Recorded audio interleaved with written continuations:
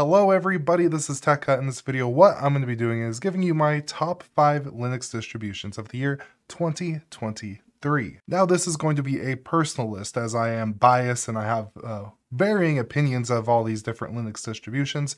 If this was an actual like top 10 best list, it would probably like start with Debian and then have a OpenSUSE and probably like Red Hat Linux in there somewhere. Distributions like that. This list is my personal favorite. Linux distributions that I've actually used on physical hardware in about the last year, and I do find myself coming back. Like last time, this isn't really going to necessarily be ranked from my least to most favorite, rather it's going to be ranked from the one I spent the least amount of time in to the one that I spend the most amount of time in. So when it comes to ranking, that is really going to be about it. So coming in number 5, we're going to have to talk about Vanilla OS. Vanilla OS is what I would consider to be a Linux nerd's dream. It's based on Ubuntu but strips out just about everything I don't like, including Snap and any other generic canonical trash. Vanilla OS is a mutable operating system. Core parts of the system are read only to prevent unwanted changes and corruption from third-party apps due to something like a bad update. Vanilla uses ABRoot, creating a present and future state for updates, and most packages will be installed using Flatpaks, app images, and they're going to be supporting Snap packages soon. But they do have their very own package manager, APX, that allows you to install Fedora, Arch, Ubuntu, and a few other distribution packages within containers or as they call in their GUI within various subsystems. Overall, it's a phenomenal distro, especially if you have a little bit of experience, you kind of know the differences between various package managers, and you want to be able to play around with all of them in one system. Just how you can play around with numerous Linux distributions within our sponsor, Linode. Not only can you play around with a bunch of different Linux distros, but you can spin up a wide variety of services using their one-click installer. Linode is a great place to host things like Nextcloud, your website, really whatever, and if you use the link down below, you could get a $100 60-day credit to get started today. And from there, we're going to go to number four, and that is KDE Neon. I have been using GNOME or GNOME as my desktop environment of choice for, I would probably say years at this point. That is until I installed KDE Neon to go ahead and test out some updates for a video. The updates were so good that I found myself booting into the drive I installed KDE Neon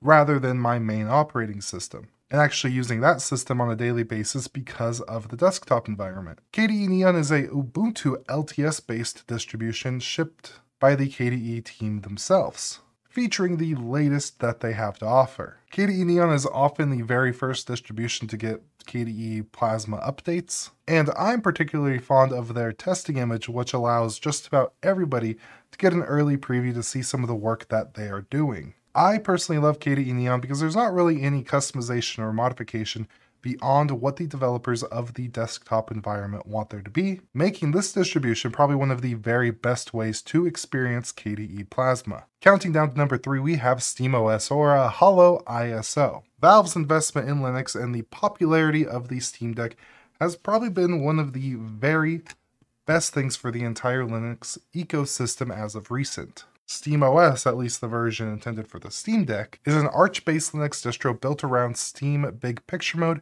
giving users a console experience, while giving users access to the traditional desktop by switching over to desktop mode, popping you into a KDE Plasma environment. HoloISO is a rebuilt version of the Steam Deck recovery image, allowing you to install SteamOS on, or at least the modern version of SteamOS on other hardware. My first experience with HoloISO was installing it on a little mini PC, which I'm currently still using today as kind of my main living room console, which it's really just a uh, overpriced PS2. And my love for it overall has exploded since I was able to pick up this guy and actually use it on the hardware that it was intended for. Valve has made a wonderful experience here with the menus and how fluid the system is. Even integrations with some of the Linux tools such as Goverlay built into their performance overlay under battery settings. And honestly, when it comes just to implementing Linux into a consumer market, this is bar none one of the very best experiences out there. It's it's truly amazing. Stepping away from the consumer level, we probably have the most boring distribution on this list, and that is Ubuntu Server. I am no fan of the standard Ubuntu desktop, but their server edition has never done me wrong. Whenever I need to spin up a service in Proxmox, I generally pick Ubuntu server as goes for needing a server distro on hardware or even spinning up something on Linode. I'm just so used to using Ubuntu Server, especially when it comes to interacting with the CLI and terminal environment, as I'm familiar with a lot of the packages that Ubuntu Server ships and how to use them. Overall, it's just kind of a mixture of familiarity and efficiency. For me, when I use other systems, I find myself on forums or guides, and just a lot more needing to figure things out. Performance is top notch, package availability is there, overall, it's just a great system. Other than the Synology NAS I have, which is running Docker and doing backups, it basically powers everything within my home lab. And then that takes us to number one, and if you've watched this channel for any length of time, you will not be surprised that it is Nobara Linux. I started using this full time in the summer of last year, 2022, and it has been my primary go to daily driver ever since. I was using the GNOME version for a while, but in the last few months I actually switched over to their KDE version after I spent some of that time checking out KDE Neon. Nobara is basically Fedora, which is my favorite desktop operating system out there, with a bunch of tweaks and modifications that really do make a difference in what I do. Latest Mesa drivers, fractional scaling packages, OBS Studio improvements, and just a whole lot more. Nobara Linux fixes many of the issues that I had installing Linux on hardware such as gaming laptops that are generally or often difficult with a stock Fedora installation. Hell, they even have out-of-the-box support for DaVinci Resolve, which is often a pain to set up on AMD machines. At the moment, this operating system does everything I need it to do, and I really have no intention on kind of switching away from it, as I've had almost no bad experiences. And if you do want to learn a little bit more about this operating system, I have a separate video that I cover it uh, with more detail and talk more about my experience. But with that, I do need to bring up some honorable mentions that just did not make the cut this year. And the first is Pop! OS, which I did find it quite difficult not to put in this video, but I really haven't been using it as much as I'm more waiting and anticipating the release of their new Cosmic desktop environment, which is written in Rust. Most of their resources are going to it. They've even been kind of skipping updates as they've been building that. So overall, I'm super excited to check it out when those come out. But for now, Pop! OS just is kind of on the uh, back burner for me. And the same goes with my other honorable mention, which is Endeavour OS.